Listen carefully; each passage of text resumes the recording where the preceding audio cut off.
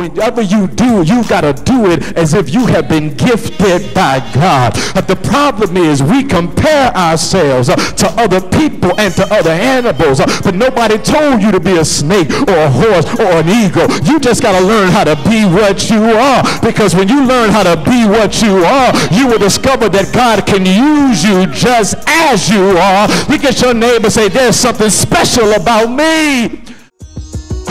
Good morning, and welcome to the St. Mark Missionary Baptist Church broadcast. You're invited to join us during any of our Sunday morning worship services at 2714 Frederick Boulevard, Portsmouth, Virginia. Where the redeemed of the Lord say so.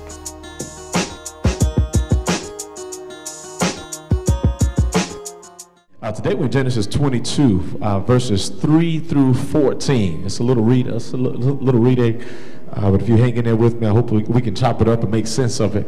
Uh, Genesis 22, verses 3 through 14. Not sure if anybody caught the draft. Anybody see the NFL draft? Yes. Y'all see the Eagles getting Super Bowl ready? oh gosh, just making, just making sure, making sure. Genesis 22, here we go, verses, uh, verses 3 through 14. Do you have it? You there? All right. Confirm for me you got it. What book are you in? Genesis. What chapter? 22. Uh, we'll start reading at verse 3 and stop at verse 14. You got it. Uh, New International uh, Translation says, says, Early the next morning, Abraham got up and loaded his donkey. He took with him two of his servants and his son Isaac. When he had cut enough wood for the burnt offering, he set out for the place God had told him about. On the third day, Abraham looked up and saw the place in the distance. He said to his servants, Stay here with the donkey while I and the boy go over there. We will worship and then we'll come back to you.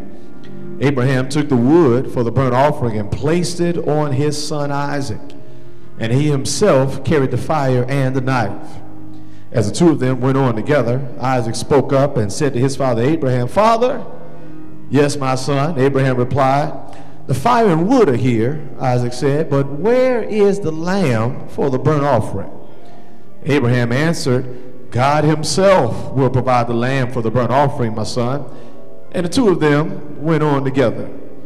When they reached the place God had told them about, Abraham built an altar there and arranged the wood on it. He bound his son Isaac and laid him on the altar on top of the wood. Then he reached out his hand and he took the knife to slay his son. But the angel of the Lord called out to him from heaven, Abraham, Abraham. Here I am, he replied.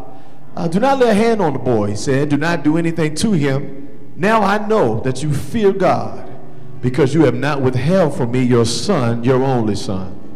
Abraham, uh, he looked up and there in the thicket, he saw a ram caught by his horns. He went over and took the ram and sacrificed it as a burnt offering instead of his son. So Abraham called that place, the Lord will provide. And to this day, it is said on the mountain of the Lord, it will be provided. You may be seated. You may be seated in the presence of the Lord. Uh, for some of you, this may be a brand new story, brand new scripture. Uh, for others of you, it may be familiar. And uh, in either in either context, I want to hopefully bring some new light to it for this moment, this time. I want, want to just kind of preach and teach from this idea. Um, you're here on purpose. You are here on purpose. Matter of fact, just shout that out loud. I am here on purpose. Pray with me. God, we bless you. We thank you for this time. We believe that you ordained it, you set it up. Doesn't matter uh, why we think we came, we, we believe you're setting something up for us right now. And so, God, now bless the pew we're sitting on. Bless the person on the left and right. And God, indeed, bless, bless each person who showed up. The seniors and those who are in their youth. Uh, those who've been in church for a while and those who are new to the faith. God, we're all here. We just now need to hear from heaven. So, God, have your way. We pray it, believing it is so in the name of Jesus Christ. And it is in that same name that I ask now for fresh anointing, that you, God, will allow this message to make sense, that you will allow, God, your thoughts to be conveyed. And God, I avail myself to be used for your glory. God, now have your way. Fresh anointing. My mind is your thoughts. my lips to utter your words. Use me now for you alone. In Jesus' name we pray so, believing it is done. Come on, together we all shout, Amen. Amen. Amen. Amen. You are uh, here, here on purpose. Uh, there's a famous fable that I love, uh, not just to read, but even to talk and tell. Talk about and tell. Uh, it's written by a young man by the name of Hans Christian Andersen back in 1844. Uh, uh, he tells a story about this duck that gives birth to all of these eggs, and while the eggs are hatching, the last egg that hatches looks a little bit different. Uh, matter of fact, uh, while uh, she, the mother duck, is parading all of her uh, her uh, her newborn babies around, uh, this last one has a real long neck and just doesn't fit the ducks. It doesn't fit the bill. Uh, and so as a result, uh, they, they kind of ostracize this ugly duckling is what they call them. Uh, they talk about the ugly duckling. They uh, belittle the ugly duckling. Matter of fact, there's a farmer uh, that tries to almost kill this ugly duckling. And eventually the ugly duckling runs away. Long story short, if you haven't heard it, never seen it before, never uh, talked about it, it is this ugly duckling that finds itself staring at itself in the water. Uh, when it looks at itself in the water, it finally figures out that it doesn't look like any of the other ducks been mistreated, been ostracized, talked about, kicked out of what was the normal area. And then after seeing itself in uh, its reflection, uh, the duck then looks up. And while looking up, it sees these beautiful swans that are now in the water. It looks at those swans, looks at itself again in the water, looks at the swans, looks at itself in the water, and it finally realizes that it was never a duck at all, but it had always been a beautiful swan. Uh, the problem was it was a swan hanging out with ducks. Uh, whenever you have a swan hanging out with ducks, you're going to be out of place. You're going to feel a little funny. You're going to look a little different. You aren't going to act like those that are around you. And as a result, Hans Christian Andersen presents to us this image of the ugly duckling. And, and really, the message is simple. If you have heard it, it is uh, that you must know who you are. Uh, that's Black Panther. You got to know who you are. You have to know what God has created you to be. You must know what you are designed to do. Because if, in fact, you ever find yourself in the wrong place, in the wrong area, comparing yourself to the wrong people, you too will feel like an ugly duck when in fact God who created you from the uh, beginning of time always designed for you to live like a beautiful swan. My brothers and sisters, that is today's message. It is that like that swan, you have purpose. Sometimes you don't feel it. Sometimes you don't know it. Sometimes after life has changed and age has come, illness has sat in, money isn't what it used to be, and sometimes uh, things around you have shifted and changed. You can wake up every day and forget that God actually has purpose for your life. And I've really come today just to tell you that one message God has purpose for you. Uh, he has purpose for you no matter what your past has been. He has purpose for you no matter what your educational status is. He has purpose for you no matter how long or how short you have been saved. He has purpose for you even if people have not co-signed on it. Even if you've been incarcerated, you're free now. Even if you used to be an addict, you're still anointed. Even if you used to be low, God has purpose for you. And today I've come just to remind someone that if you could wake up every day and remember that God has purpose for you, then you won't fall because of all of the people around you that don't know your value. You won't lose your mind because people speak against you and talk about you, but they really don't know you. Uh, if you could just wake up and understand you have purpose, uh, you won't complain so much about what others are doing or what they are not doing because you'll be too busy doing what God's called you to do. Uh, matter of fact, come on, just somebody shout, I have purpose. I have, I have purpose. And that, that is so important because sometimes uh, uh, we feel as if we don't. And because the enemy knows you do, uh, the enemy's job is to stop you from fulfilling your purpose. Uh, matter of fact, some of you who God has ordained to speak and preach and teach or uh, give encouraging words or to lift up people on their job or to help them understand who they are. But what God will do is fill your mouth with other things so that you won't use your mouth for good things. Uh, uh, he'll keep you smoking a little bit more than you ought to. He'll uh, have you drinking something. I'm not talking about communion wine. Uh, uh, he, will have you sipping on some things that give you a little topsy turvy. You you got gin and wine, but you forgot about the gin you wine. He'll he'll have you talking and using your mouth, locking your lips around people who have no good intent for you, because the enemy knows that if he can stop what you're doing with your mouth, positive, uh, uh, that he can hold you down in the negative. But God told me to tell you, you have purpose. Uh, uh, he can make you feel like because your body doesn't move like it used to after the diagnosis or after the treatment or after the radiation or after the surgery that you are no good. But you must remember it is through him that you live, move, and have your being. And just because you can't move like you used to, uh, you ought to move as much as you can with what you already have. If all you can do is wave your hands, you ought to wave. them. If all you can do is blink your eyes, you ought to blink them. Uh, but if all you can do is just sit down and sway side to side, you ought to sway. Uh, because God has purpose for your life. And that's today's message. It is to help you to understand that you are not alive by accident. You are not here by happenstance. Your birth was not a blooper. You made it through so much because God has something for you. Or sometimes young people like J. Cole, you feel like the middle child as if people don't pay you any attention. Uh, but God told me to tell you, even in your young age, God has purpose for you. And just in case you didn't believe me, I thought we'd stare into Genesis 22 because here we find people with purpose. Uh, the Bible's talking about this guy by the name of Abraham, and for whatever reason, they just pick him. Uh, he's not because of his credentials. It's not because of his credit report. It's not because of how long he's been saved. It's not because of his title in the church. It's not because of the degrees he has. Out of nowhere, God just comes down and says, Abraham, I want you to be my promised child. Uh, he shows up to him and says, Abraham, you're going to be the father of many nations. Uh, you're going to give birth to many children. a matter of fact, Abe, if you just count the stars, stars in the sky, that's how many uh, kids you're going to have. Look at the glitter on the ceiling. That's how many children you're going to get. Look at uh, the pebbles of sand on the beach. That's how many children you're going to give birth to.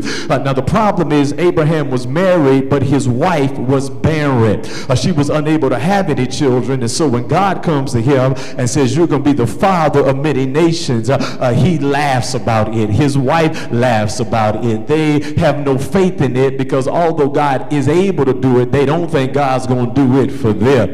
Uh, as a result, God now has to prove to him who God is. Uh, Abraham heard the promise, uh, and so almost Vin Diesel style, he rushes real fast and quick to try to get it done. Uh, but you do know if you move too fast, you're going to end up too furious. Uh, so here's what happens uh, to him.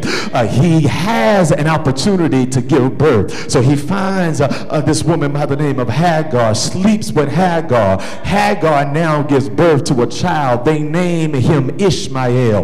The problem is he's done what God was going to do, but he didn't do it the way God wanted it done. Oh, can I just pause there and tell you that life is not about getting what God said he was going to give you. Life is not about the end result of what you can get. Life is about doing it the way God wants you to do it. Life is not about just being blessed. The question is how you going to get blessed. Uh, the question is not just how you're going to get to where God wants you to go. Uh, the question is, are you going to get there loving people and helping people, or are you going to be stepping on people on your way there? Uh, Abraham had the child named Ishmael, but it was not the way God wanted it to happen. So what God did was uh, take him and his wife uh, and say, let me show you the right way to do it. Uh, you should have been there. She was barren, but God's getting ready to let her give birth. Abraham puts on a little Marvin Gaye, grabs a little Chardonnay, turns the lights out, and now they get it on. After they get it on, now the barren woman gives birth to a child. Uh, they named him Isaac, and now what they could not do on their own, God has done for them. Oh God, I got a little ways to go, but I wish you reach over and tell your neighbor, you better trust God. Uh, because if you trust God, he can do what you can't do. You better trust God. He can do what they say you were not able to do. You better trust God. He'll give you access to what they say you could never have. You better trust God. He'll take you places they were shutting doors on. You better learn how to trust God. Uh, so because he trusted God, eventually they have the baby. The baby born now is named Isaac. Uh, now this is important because Isaac is the miracle baby. Uh, they weren't even supposed to have him. So now Abraham and Isaac are spending time together. Uh, they are going to soccer practice. They are hanging out, watching all of the games. They're going to track meets with Norcom and other high schools. They are enjoying their time together. They go fishing together. And now the Bible says they're getting ready to go to worship. Uh, the problem is God has now said to Abraham, I need you to give Isaac back to me. I want you to sacrifice Isaac. I need you to kill him. I know you just got him. I know you love him. I know you've been spending time with him. But I don't want you to get it twisted and enjoy what I give you more than the one who gives it to you. Uh, so I need you to give him back. And the Bible says Abraham packs up all of his things and gets ready to take uh, this young man, Isaac, all the way to the top of the mountain. Uh, this is the part of the story you're familiar with. They're on their way. Uh, they're driving now up towards the top of the mountain. And as they're on their way to the top of the mountain, he pauses for a moment and tells his servants to stay right here. Uh, my son and I, Isaac, we're going to be right back. Uh, this is important because where God is getting ready to take them, everybody wasn't allowed to go. Uh, that they had to leave a few in order uh, to be what God wanted them to be. Uh, so when they left the two, they then ascended into the mountain. When they get into the mountain, the Bible says uh, that they start building the altar that they're going to need for worship. Stone on top of stone, they stack now and build the altar. Then they lay the wood on the altar. They start looking around because in order for worship to happen, there must be a lamb or a ram or a pigeon for the worship. They're supposed to kill the animal, set it on fire, and then God is going to be pleased. The problem is it's Abraham and Isaac, but there is no ram. There's Abraham and Isaac, but there is no lamb. There's Abraham and their Isaac, but there is no pigeon. And then Abraham ties his son Isaac down, lays him on the altar, grabs his Smith and Wesson sword because he has to now kill him the way God has asked him to. And right before he lowers the knife, knife in hand, getting ready to kill his son, God screams from the heavens, Abraham, Abraham. Uh, this moment is important because he was getting ready to carry out the command, but he was going to lose his son. Uh, and as you stare at this, because you're holy, you've heard it before, you know that this is about prioritizing God over God's gifts. Uh, but if you were there, you'd have to wonder for what purpose has God done this? I mean, it's one thing for God to bless you with a child like Isaac. It's one thing for God to bless you with a job, bless you with a car, bless you with finances. Uh, but why in the world would he then cause a circumstance to make you think you going to lose the one thing you have. Uh, I mean, it's one thing for God to give it to you, uh, but then to allow it to be taken from you is another thing. And sometimes we begin to lose our purpose and our sense of identity when we start losing things that are valuable. Uh, when you're not making as much as you used to, you start to question your purpose. Uh, when your mobility isn't as quick as it used to, you start to question your purpose. Uh, when you're used to rearing your children, but now your children are gone and they're out of the house and you are an empty nester and there's nobody's clothes to wash. There's no meals to be made. Uh, there's no one to take care of. You start questioning your purpose. Uh, uh when you come into worship and someone is doing what you used to do because you used to be the head usher. You used to sing all the songs. Uh, you used to preach all the sermons. Uh, you used to pass out the fans, but now there's somebody else doing what you used to do. You start to question your purpose. When you go to work and there's somebody younger than you working at the job and you're now trying to figure out, are you still going to keep the job. You start to question your per- Come on, anybody ever been there before when you just wonder how you were going to make it, if you were still relevant, if you mattered? Have you ever been in that place where you had a boo, but your boo was texting people late at night and calling people early in the morning, and you were still wondering, do you have purpose? Uh, I mean, you walk down the aisle together, but now it's looking a little rough around the edges, and you're just trying to figure out because you're not the same size you were when y'all came down the aisle. You don't do what you used to do when you came down the aisle. And why you don't want to talk to nobody about it, you're wondering, do you still have purpose? Abraham is in that situation uh, because what he has been given is getting ready to be taken from him. And the question he's asking is, God, for what purpose am I here? And everybody don't have to testify, but I need a few people just to raise your hand and says, I've been, I've been in that place. I have wondered, I've wondered if just waking up every day was even worth it. I've wondered if showing up even mattered. I wondered if anybody ever noticed. I wondered if anyone cared. I wondered if I'd ever get any recognition from all of the work I've done and the tears you've cried and the love you've given and the money you've spent. Well, God told me to tell you that whenever you feel as if you've been overlooked, God God has purpose for your life. Whenever you feel like no one cares, when no one notices, God says you have purpose. And I thought, I thought real quick that we ought to talk to somebody about this. So I tried. I tried to catch up with Abraham. I called Abraham and said, Hey, Abe, we need to talk to you about this purpose because I see you uh, in this situation and you're trying to identify your purpose. And I called, but he never answered. Abraham didn't pick up his phone. Uh, I tried to text him. He did not text me back. Uh, I tried to IM him, but he didn't answer. So uh, I, I don't know what we're going to do. Maybe, maybe, we ought to talk to Isaac. I tried to catch the Isaac, but it looks like he's a little tied up for a moment. He uh, he can't talk. Tried to hit him on the DM. You know it goes down in the DM, but uh, he, he, didn't even direct message me back. Uh, and so I'm looking at Abraham and I'm looking at Isaac trying to figure out how are we going to discover how to live out our purpose. And I could not talk to Abraham and uh, I could not talk to Isaac, but there in the thicket is a ram.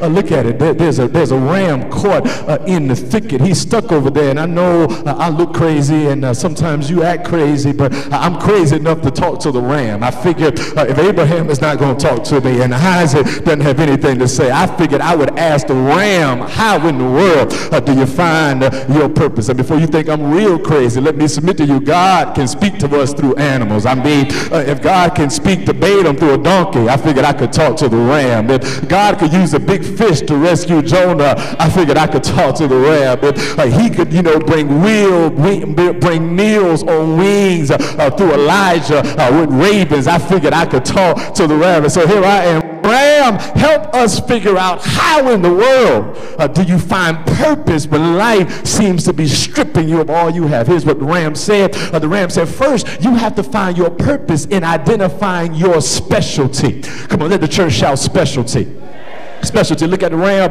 The ram is caught in a thicket, the Bible says, by its horns. It has uh, these thickets. It's stuck in the sticks.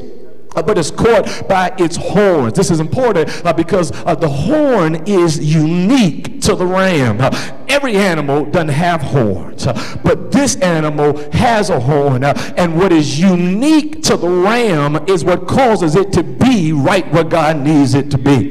And I figured you weren't to shout about that, but let me, let me just kind of build my case because if it had been a snake, it would have slithered through the thicket and Isaac would have died. If it had, if it had been a horse, it would have galloped over the thicket thicket and Isaac would have died. If it had been a bird, it would have flown over the thicket and Isaac would have died. But because of its unique and its specialty, because it had something that other animals just doesn't have, it was right in the place that God needed it to be. And can I tell you uh, that you too have some specialty uh, that people around you do not have. And because of what you have that they do not have, God wants to use you. Uh, you might not be able to sing like they sing, but you make your joyful noise. Uh, you might not be able to pray like they pray, but you do what God's called you to do. You might not be able to stand as long as the ushers, but you just work your administrative gift. You might not be able to preach like the preachers in the pulpit, but you just keep reading your scripture on your job. You might not be able uh, to be a greeter or serve as a dancer, but whenever you do, you got to do it as if you have been gifted by God. But the problem is we compare ourselves uh, to other people and to other animals. Uh, but nobody told you to be a snake or a horse or an eagle. You just got to learn how to be what you are. Because when you learn how to be what you are, you will discover that God can use you just as you are. Look at your neighbor say, there's something special about me me. Uh, and you got to get that because what Paul does is Paul says that all of us have different gifts. Romans chapter 12 says that there are many different gifts, but we make up one body. He writes in the book of First Corinthians and Second Corinthians that there are gifts that some will preach and some will prophesy, some will teach and some will be apostles. And you just got to figure out which one you are. You don't have to do it like the person beside you, but just do what you can with what you have. You don't have to be the people that you idolize. Just be what God's called you to be. Because when God blesses us, he does not give a group blessing. He gives you a personalized, individual, customized, tailor-made blessing because he's blessing you based on what you are able to do. I dare you one more time to look at your neighbor and say, there's something special about you. Uh, there's something different about you. There, a matter of fact, there's something so different about you that God writes your name on the palm of his hand. Uh, there's something so special about you that he said you are the apple of his Uh, there's something so special about you uh, that when your enemies come to eat of your flesh, he'll knock them down, make them stumble and fall. Uh, there's something so special about you, you can get sick, uh, but then he'll get stripes so that you can be healed. There's something so special about you, when people count you out, God will bring you back in again. Look at your neighbor, say, there's something special about me. The ram, the ram says, understand that there's something special about who I am. Ram, uh, the ram, the ram is stuck uh, in the thicket. That's the first thing God says. If going to figure out your purpose, you have to understand uh, that you are unique. You uh, are special. When God created you, he broke the mold, threw it away so that it could not uh, be found. And you have to somehow embrace the new you, uh, even if it's not the old you that you want to be. Old things are passed away. And behold, all things things are made brand new. The ram, uh, the ram says, one, you got to know that I'm special. I got this horn, uh, and this horn calls me to be right where I am, which then brings us to the second thing that's really special about you, and that is you got to understand that your purpose is also wrapped around your situation. Uh, let the church shout situation. Uh, look, look at it. The text, uh, the text says that the, the ram is stuck in the thicket. That, that's important. Uh, he could have been running around, but he was not. He was stuck uh, in the stick, thicket. He's got sticks uh, sticking in here. It's a sticky situation. He's, uh, he, he's stuck. He can't move. It's not comfortable for him. It's not where he wants to be. If he could volunteer, that's not what he would have signed up for. he is in the thicket. A matter of fact, we don't even know how he got here. The fact that he arrived here as bad bad as it is, is a blessing all by itself. Uh, he's a ram that somehow made it all the way to the summit of the mountain, which means he had to climb up the rough side of the mountain and somehow avoid all of the prey uh, that should have taken him out. Uh, he should have been eaten up by something, a lion, a tiger, a bear. Oh my, I mean, he uh, something could have taken him out. Uh, and as watch this, as bad as where he is may feel, it's not as bad as as it could have been.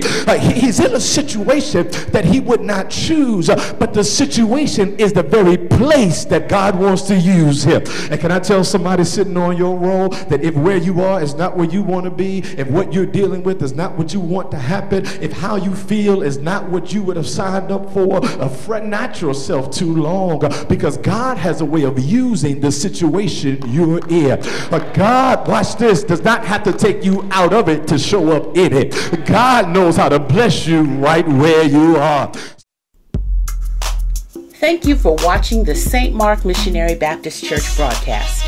If you would like a copy of the message, please send your request to St. Mark Missionary Baptist Church, 2714 Frederick Boulevard, Portsmouth, Virginia, 23704. The cost is $15 for a CD and $20 for a DVD and includes shipping and handling. We pray you've been blessed by the message. Join us again next week. And remember to let the redeemed of the Lord say so.